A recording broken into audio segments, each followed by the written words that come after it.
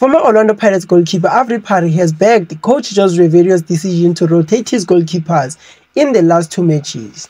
But before I continue guys, please don't forget to hit the subscribe button and the notification bell for more updates.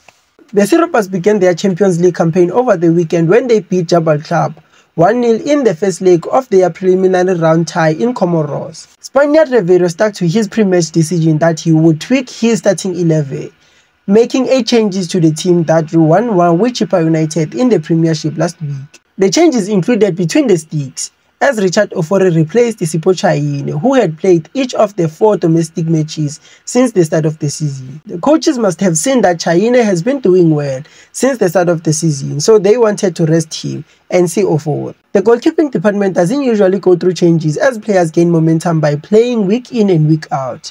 Be that as it may, Phali has urged all goalkeepers to prepare for such eventualities and be ready to play when an opportunity arises.